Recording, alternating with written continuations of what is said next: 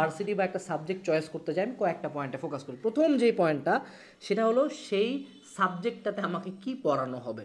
আমি কি আদৌ সেটার জন্য কেপেবল কিনা? তুমি প্রত্যেক সাবজেক্ট যেই ভার্সিটিতে তুমি যেই সাবজেক্ট নিয়ে পড়তে চাও, সেটা সিলেবাস অ্যাভেলেবল আছে। আন্ডার গ্র্যাজুয়েট লেভেলে গ্র্যাজুয়েট লেভেলে তুমি সেটার প্রথমত সিলেবাস দেখবা যে এখানে যে টপিকগুলো আছে, সামনের দুই, তিন, চার বছর আমাকে পড়াবে, এগুলা কি পড়ার ক্যাপাবিলিটি আমার আছে? আমি কি এগুলো পড়তে পারব? আমি কি প্রেশারটা নিতে পারব? মেডিকেলে যেতে যাচ্ছ মেডিকেলে জিগাও যে ভাই কী পড়ায়, কতটা পড়ায়? দুই নাম্বার যেটা নিয়ে চিন্তা করতে হবে, সেটা জব সেক্টর নিয়ে চিন্তা করতে হবে যে, আমি চার বছর পরে বের হব। এখন আমি এমন একটা সাবজেক্ট নিয়ে পড়তেছি, যেটার প্রতি আমার ন্যূনতম প্যাশন নাই, ন্যূনতম ইচ্ছা নাই, কিন্তু আমি আবার বের হয়ে চিন্তা করছি, না, আমি চাকরি পাবো। আমাকে চাকরির জন্য আগে খোঁজ নিতে হবে যে, এই সাবজেক্টটা জব মার্কেট কেমন? বা এই সাবজেক্টটা থেকে বের হয়ে মানুষজন কোথায় গেছে? এবং জব মার্কেট নিয়ে তুমি আমার মতো একটা কোচি পোলার কাছে জিজ্ঞাবা না। আমি তো থার্ড ইয়ার পরে আমার তো নিজেই বেকার। নিজেই পাশ করে কি করব জানি না। তুমি জিজ্ঞেস করবা যে কোনো সিনিয়রের কাছে। যে একটা সাবজেক্ট নিয়ে পড়ে বের হয়েছে তাকে জিজ্ঞেস করব যে, ভাইয়া, আপনি তো এই সাবজেক্টটা নিয়ে পড়ে বের হইলেন আপনি তো এই জবটা করতেছেন, আর কি কি অ্যাভেলেবল আছে? এখান থেকে পড়ে কি আদৌ ভালো করা সম্ভব কিনা? সিনিয়র বা যারা এক্সপিরিয়েন্স তাদের কাছে জিজ্ঞেস করবা। তিন নাম্বার যে পয়েন্টটাতে আমি ফোকাস করি, সেটা হলো যে, আমার নিজের ভালো লাগাটা, নিজের ভালো লাগাটা। এটা প্যাশন না it's not always about passion যে আমার সিএসসি খুব ভালো লাগে passion passion by three one three two microcontroller যখন করাবে না প্যাশন মানে যখন মাইক্রো কন্ট্রোলার দরজাতে ঢুকবে প্যাশন জানলা দিয়ে পালা যাবে। যখন কঠিন পড়াশোনা দরজা দিয়ে ঢুকে, তখন প্যাশন জানলা দিয়ে বহুত আগে পালা যায়। শুধু প্যাশন দেখলে হবে না। ব্যাপারটা হলো, আমি এমন কিছু একটা, যেমন আমার মেন্টালিটি আমার সাবজেক্ট বা আমার চাকরি বা এগুলা নিয়ে আমার কোনো চিন্তা ছিল না। ওই মোমেন্টে এখন হচ্ছে, এখন থার্ড ইয়ারে আসি দুই দিন পরে মারা খাব, বের হয়ে যাব, বেকার আমি। তখন, এখন চিন্তা করতে হচ্ছে। তখন কি চিন্তা করছি আমি? তখন চিন্তা করছি ভাই, আমার দরকার আগে বিশ্ববিদ্যালয়। আমার প্রেফারেন্স ছিল বিশ্ববিদ্যালয়।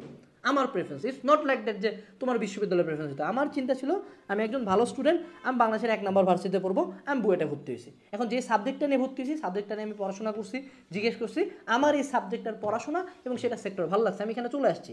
এবং হয়তো বা মাঝে মধ্যে ইমোশনাল হয়ে যায় মাঝে মধ্যে আমি কান্দাকাটি করি যে "আহ, আমি মেডিকেল কেন ছাড়লাম? আমার মনে হয় কিছু হবে না। বাট দিন শেষে আমি কিন্তু বুকের মধ্যে হাত রাখে বলতে পারি না আমি ফুল ফ্যামিলি অপোজ করে ফুল পুরো সমাজের কথা অপোজ করে আমি মেডিকেল বাদ দিয়ে বা আমি মেডিকেল নিয়ে পড়তেছি। আমার মনের মধ্যে কোনো প্রকার কোনো খারাপ লাগা নাই।